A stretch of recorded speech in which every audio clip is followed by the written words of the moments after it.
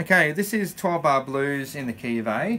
We're playing from a track on iTunes called Midnight Blues.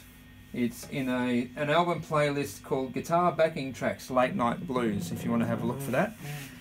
But um, really, this will work with any 12 bar blues backing in the key of A.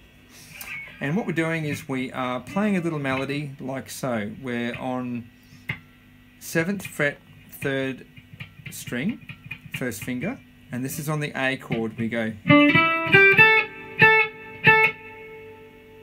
for the A chord.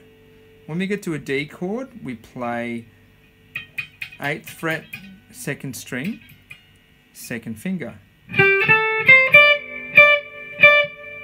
And we do that because we're building awareness of the pentatonic scale forms. We get to the E chord, we just move up two frets and do what we did for D. Make sense? Now I'm going to play the backing track and play along with it. And uh, hopefully this helps when you get home.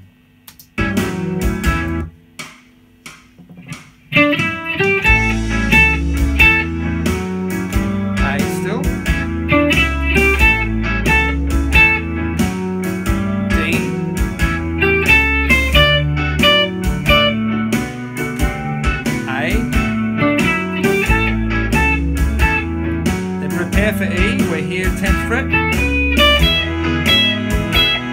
Wait. A. Then we can play down the octave. Form 1 A minor pentatonic.